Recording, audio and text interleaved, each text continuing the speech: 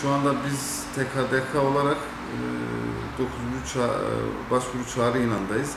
9. başvuru çağrı inanında 101 tedbiri dediğimiz e, hayvansal üretime dayalı desteklerimiz 302 de dediğimiz e, kırsal alan ile ilgili e, yöresel ürünler, kırsal turizm, e, arıcılık, e, su balıkçılığı bunlarla ilgili e, çağrı ilanındayız. E, şu anda e, projelerin yapılması devam ediyor.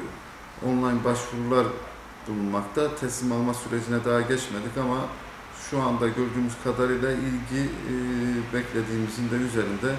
İnşallah Malatya bu dönemde biraz daha e, bu e, projeler kapsamında daha da iyi olacak. Daha da çok projeyi Malatya'mıza kazandıracağız.